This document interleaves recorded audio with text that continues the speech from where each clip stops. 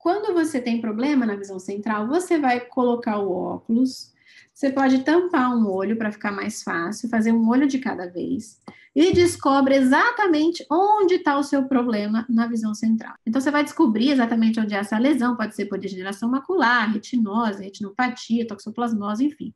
Você quer trabalhar essa região dessa mancha, tá? Pode até ser uma mancha um pouco mais deslocada do centro, mas você quer trabalhar essa mancha.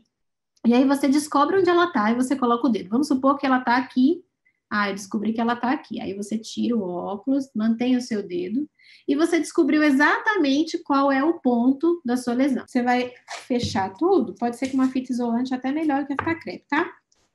E você vai deixar aberto aqui só o ponto exato da onde estava a sua dificuldade. Nesse caso aqui eu vou cobrir, eu tô dando um exemplo, tá? Porque eu não tenho dificuldade na visão central, mas se você tem, eu tô dando um exemplo. Você vai ajustando até chegar só vai ficar livre, e aí você pode usar um tampão aqui ou um cartão, ou cobrir todo esse, ou então fazer igual nesse olho aqui. Aí você cobre esse olho faz esse, você vai ficar com os dois pontinhos livres, da visão central ou da visão que você ou você quer trabalhar. Se você tem uma lesão na visão central, você pode fazer isso, ou um pouco afastado da, da, da visão central, você pode fazer isso, jogar bolinha, estimular com luzes, exatamente nesse pontinho aqui. Se esse óculos ajuda em tudo, ele ajuda sim a você ficar menos dependente. O que ajuda a diminuir grau é todo o programa junto, não é? Programa para miopia, programa para mimetropia, programa para astigmatismo. Se você faz tudo bonitinho,